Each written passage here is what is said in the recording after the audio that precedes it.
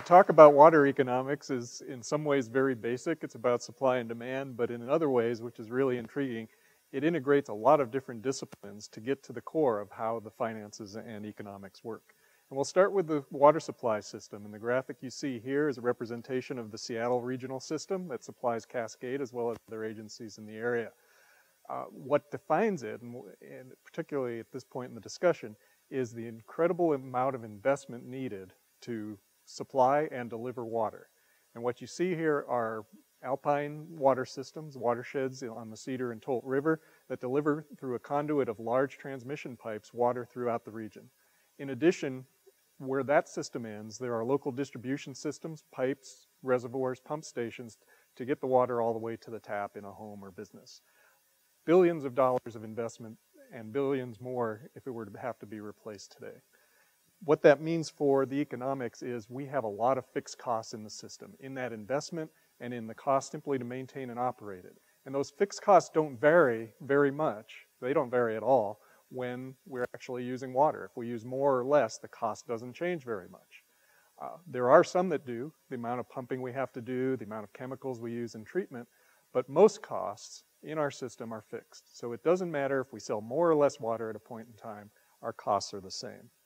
In contrast, when we look at the customer side, we bill primarily based on how much water they use. So our revenues are variable.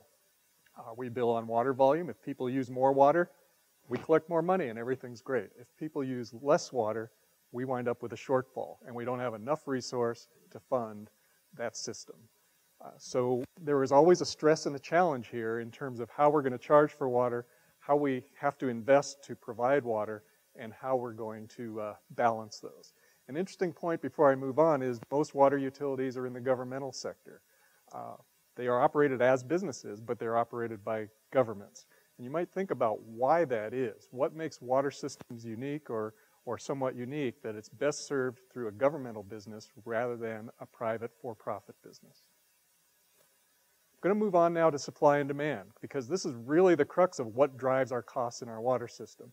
This is an average water demand pattern. It's, it's averaged over the course of a year from January to December, and it shows the average for each month. The vertical axis is how much water people use or the community uses. In the wintertime, in this example, it's about 20 million gallons a day for Cascade. Uh, that serves 350,000 people. In the summertime, it more than doubles. The peak month is about double that. If we went to the peak day, it would be half again as much. We have a peak demand in the summertime when we do have summer, like we did this year, uh, that's in lawn watering, irrigation, outdoor water use.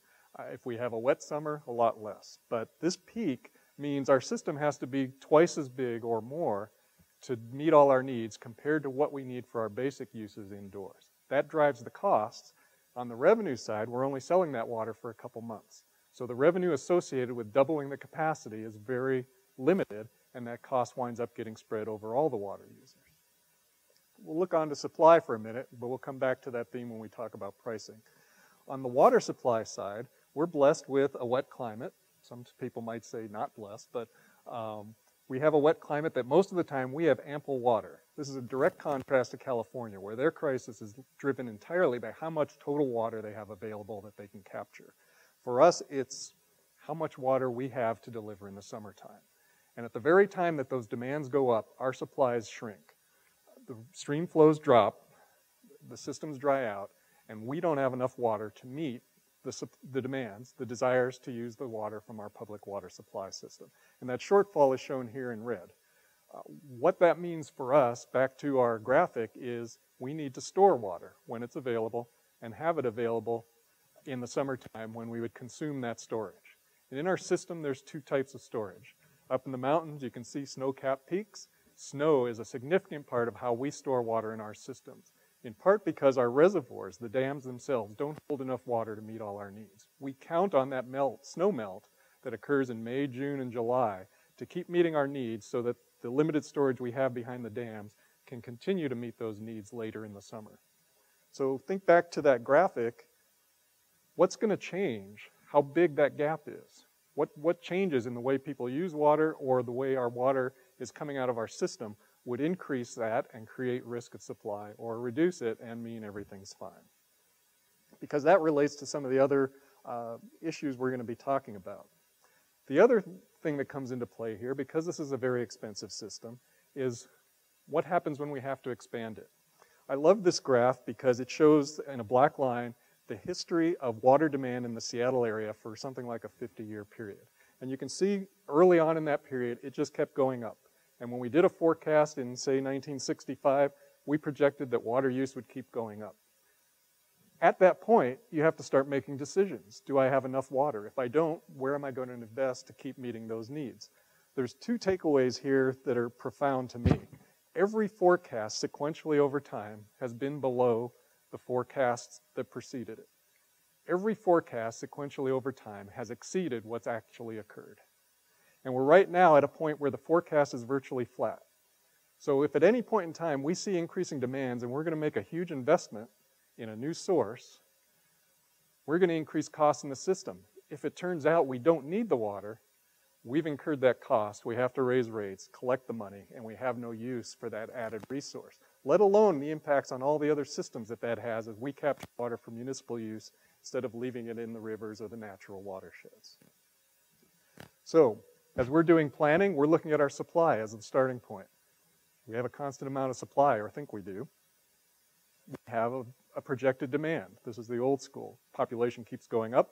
We expect demand to keep going up. This is what Cascade saw 10 years ago when it was formed and did its first plan. We were going to be out of water in 2025. We were going to have to spend $500 million to build a new source of supply. And that was going to roughly double how much water we had available. It was going to more than triple our costs which meant we'd have to more than triple what we're charging to cover those costs. But now we overlay a new reality, and that is the demands aren't going up. We just tripled our costs, we're not selling more water, prices have to go up even more. And in fact, we invested in a resource years, decades, perhaps a century before we needed to spend that money. What are all the other uses we could have made for that money within the water resource field or other fields uh, in our community? So our goal now is we want to make sure that we get this line because it takes us more than 10 years to develop a supply. We want to make sure that we stay on that track. Otherwise, we may wind up back in the previous graph and run out of water. So we're going to look at tools for how we can accomplish that. Delay that project, maybe eliminate it, and get back to a scenario where we have a cost-effective system serving our customers. We have two major tools that we use. One is conservation. This is a very busy chart. What it lists is about 50 conservation measures that we analyzed for how cost effective they were in helping us save water. This is on the redu demand reduction side, and how much water we could save. If we bring these tools to bear in a cost effective manner, can we keep delaying when we have to spend that $500 million? Conservation has many virtues, but one of the best ones from the system planning perspective is we can size it to our needs. If I have to build that new supply, I have to build the whole thing. I'm not going to put a garden hose to my new supply at Lake Tapps. I'm going to build a big pipe and incur all that cost. Conservation, I can parcel it out and I can uh, stage it in over time so that it continues to help me manage that demand in a consistent fashion. From an economic perspective, that's much more efficient. We also have many measures, as this graph shows, that are cheaper than the ones you see in red, which are new supply sources. And those, it doesn't even matter how we would size them or how we would do them, they're cheaper than going out and developing new supplies. One that isn't included in here in supply, in, in this conservation, that I think is really part of the equation as well is substitution. What that means is do we have other ways to meet those demands, particularly those peak season demands, rather than out of drinking water? And an obvious one is wastewater reuse uh, net zero projects, et cetera. So you could think about how we could manage beyond just these measures to make efficient use by using other resources rather than our drinking water. The other main way we have to control that demand outcome is pricing, is, is the water bill. Most homes and businesses get a water bill every month, water and wastewater and it charges for access to the system and it charges for water use. And how we price can affect how people use water. Um, and I'm going to use some examples as we go through this. Most utilities meter all water use. By the end of 2016 in Washington, all utilities have to. There are actually a couple communities that haven't gotten there yet, which is interesting. They have unmetered homes. Doesn't matter how much water you use, they don't know. It's like going to the gas station. When you fill the gas tank, we're measuring how much water is going in there. And like going to the gas station, we're going to start charging you based on how much you use, but we still have a lot of ways to do it. There are four examples here of how we might charge for water use. They have a fixed charge, and the, the vertical axis here is the monthly cost of water. The horizontal axis is how much water you use. Most of the charge systems are going to charge you more the more you use. Uh, there are lines shown here for average winter use, which is pretty much indoor use, and average summer use, which includes that outdoor watering to give you some frame of reference. Uh, in, in the average winter here, four to 5,000 gallons. That works out to about 50 gallons per person. It's always fascinated me thinking about my own water use. How do I use 50 gallons a day if I'm an average customer? But kind of getting beyond that, the pricing schemes go from the old school charge a flat charge, doesn't matter how much you use, it's always the same, $40 a month. Um, this is um, the way most wastewater systems still charge for water, for wastewater service. Um, if you don't have meters, this is how you're going to charge. If you went back to 1970, the most common system in the US is the next one, declining block. Uh, this is one where it's kind of volume discounts. It's like the Costco discount. You use more water, the unit price goes down. And so um, I may pay a dollar for a thousand gallons, and then at some point it goes to 50 cents.